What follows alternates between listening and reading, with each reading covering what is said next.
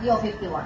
Ah, nag-move on na kami. We're willing to Iniwanan nila siya. No, we are willing to sit down with the President. This time, ah, kailangan kasi natin ng backup ng Pangulo. Oo, Kung pupunta tayo sa Senado at aayusin natin yung security of tenure bill, Oo. eh, pambihirang kalaban ng mga senador at kongresista na may mga business interest, ibang mga congressman, may ari ng mga manpower service provider, no? may mga negosyo, so ang hirap banggain ang napakalaking ah ah, legislative body na ito. So kailangan natin ng backup na Pangulo. Okay. Kailangan namin ng ama, kailangan namin ng big brother para maisulong yung security of bill. Pero Jay, say,